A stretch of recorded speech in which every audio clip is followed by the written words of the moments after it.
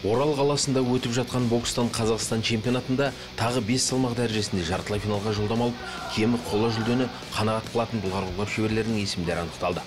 Алғаш өткен елу келі салмақ дәрежесіндегі ширек финалдық жекпе-жекте қарсыластарынан басым түскен төрт боксшы жартылай финалда бақ сынайтын болды. Олардың қатарында Алматы облысының өкілі Дамир Әбдіқадыр, ол ақтөбелік қарсыласынан басым түссе, ақтаулық Қуаныш Дүйсебай түркістандық әлем чемпионатының қола жүлдегері Жомарт Ержанды ұтып алғашқы сенсация жасады. Бұл жекпе-жекте Жомарттың алдыңғы кездесуде алған қолының жарақаты сыр беріп, жекпе-жек мерзімінен бұрын тоқтатылды. Сол секілді Ақмолалық Тимур Қабдешев та жеңімпаздар қатарында, ал оның жартылай финалдағы шешуші жекпе-жек жолдамасын сарапқа салатын қарсыласы Оралдық Нұрсұлтан Нұриденов болмақ. Ол өте тартысты ширек финалдық жекпе-жекте елордадан келген қарсыласынан айласын асырды. Бүгін жақсы. Сопернигім опытты кішкене. Спартакиада чемпион болған. Бірақ тренердің айтқанын тыңдап ұттым тоже. Тактика өзгертіп каждый раунд сайын. Сопернигім бойы кішкентай болғандықтан күтіп алуды ұрған сайын ответка удар ұруды тактика болып. Ол білдім сразу атылатын бастайтын. Мақсат мында бәрі чемпион болу үшін келеді ғой.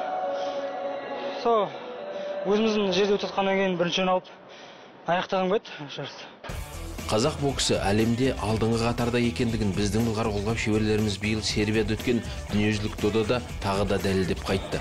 Боксшыларымыздың шетел ареналарында төрешілер тарапынан қысым көрсетілмеу үшін халықаралық федерациямен тығыз байланыста болу керек.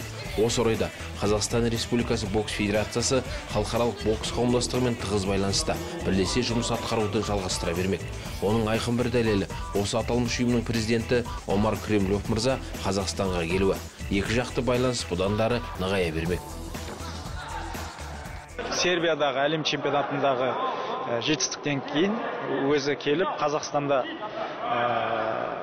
әлем чемпионаты кезінде барлығы мойындаған Қазақстанның боксы классикалық бокс өте әдемі бокс деп соны өз көзіммен көруге келдім. Сіздермен жаңағыдай бұндай әлемдік аренада лидер елдің тәжірибесін үйреніп біліп келейін өздеріңізбен танысайын деп келіп елдің спортқа жауапты басшылығымен үкімет басшысымен кездесіп біраз мәселелер талқыланды 54 келі салмақ дәрежесінде де келесі айналымға шыққан төрт боксшының қуанышында шек болмады. Өскемендік Дәулет Молдашев тұтқан түркістандық Жандос Жұмабаев және маңғыстаулық Самат Жетібаевтан басым түскен қарағандылық Талғат Сырымбетовтар. Сонымен қатар тәжірибелі атыраулық Олжас Байниязов та жартылай финалға жолдама алып, кемі қола жүлдеге иелік ететін болады. Ол өз кездесуінде төрешілердің шешімімен тараздық Әлібек Жарқынбектен басым түсті. Енді жас бала жақсы тәжірибелі азия ойындарының участник өте тәжірибелі спортшы. Енді бірінші раунд. Иә сол жаққа кетті. Екінші раунд уже қысып бұл жерде біздің ерекшелігіміз чуть айтады ғой. Үлкендігіміз өзіміздің үлкендігімізді көрсетіп характер көрсетіп екі мен үш сындырып сол сол тактиканы қолдандық. Сонымен қатар шеберлігімен мамандар көзіне түскен сыр елінің саңлағы нұрсұлтан алтынбек те жартылай финалға жолдама алғандардың тізіміне енді. Биыл өткен жастар арасындағы азия чемпионатының жеңімпазы алғаш рет ересектер тобына араласып жақсы нәтиже көрсетті. Ол өзінің жекпе жегінде шаршылың иесі дидар төребековті қапы қалдырып кетті.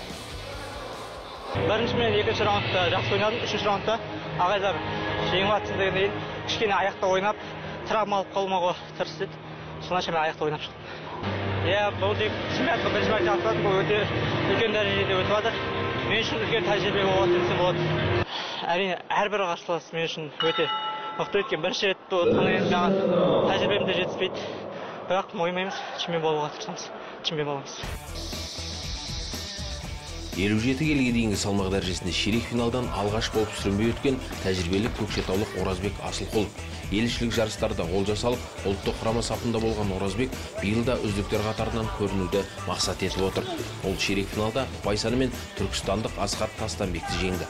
Сол секілді керекулік сабыр ерболат та алматылық қарсыласынан басым түсті. Ал қостанайлық айдос арапов ақтаулық жолдас жеңісовті сан соқтырып кетті. Сонымен қатар осы салмақтың үздіктерінің бірі тараздық бейбарыс жексен де жартылай финалдан орын алды.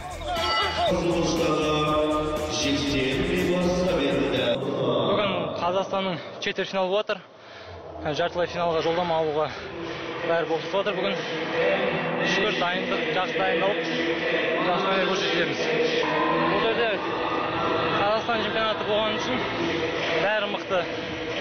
Оңай жеңіс болмайды. Жақсы бәрі.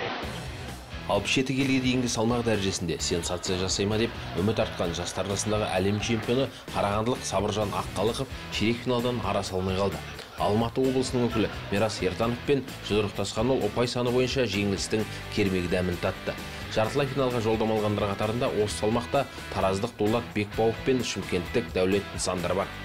Ал 71 келі салмақ дәрежесінде өте шиеленісті жекпе-жектер өтті. Ақтөбелік әлихан мекебаев пен өскемендік ермахан жәпеков арасындағы бәсекеде жеңіс жәпековтің еншісінде кетті. Сондай ақ өте тартысты кездесу талдықорғандық нұржан амангелді мен шымкенттік арман сайлау арасында өтті. Бірінші раундта бір бірінің осал тұстарын аңдып жүрген қос қарсылас үзілістен кейін ашық айқасқа шықты.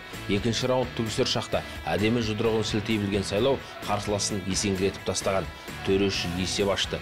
Ал үзілістен кейін бірден бапкер ақылына қаныққан нұржан қарсыласының соққының астынан алып оны тек ортадағы төреші ғана тоқтатып алды осылайша жетісудан келген жігіт соңғы сәтте жеңісті жұлып кетті.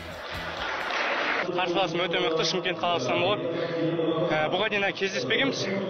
Өте жақсы жаңағы настрой ұстап келген қарсыластардың бірі күшті жекпе жек өтті Ә, қарсыласым ұрам деп ұрды. Мен де момент соған түсіп қалдым мен.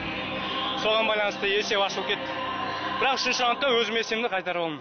Екі ударды ғана ұра берді жаңағы разды сол ағайлардың қойған тактикасының арқасында осындай жаңа жетістікке жетіп отырдық қазір жеңіске. Оның қателігі аяқта тұрып қалды и басымен көп қимылдай берді. Аяғы тұрып қалды сол қателік сол болды деп ойлаймын. Мамандардың назары ауған 75 келі салмақта да тартысты жекпе-жектер өтті. Атыраулық нұрғанат раисқа алматылық жас боксшы ильяр аширов лайықты қарсылық көрсете алды. Егер де енді бір раунд болғанда бәлкім оңтүстік астаналықтың бағы жанып кетер ме еді жастар арасында әлемдік аренада қола жүлде алған диас молжігітов та үш раунд бойы тоқтаусыз тер төгуіне тура келді. Сыр елінен келген азамат бектас та еш аянып қалмады. Тіпті соққысы дәл тиіп молжігітов бетінен жарақат алған. Бірақ соңғы секундқа дейін төтеп берген молжігітовтің төреші қолын көтерді. Осылайша 13 салмақтың сегізінде жартылай финалға жолдама алған боксшылар толықтай анықталды.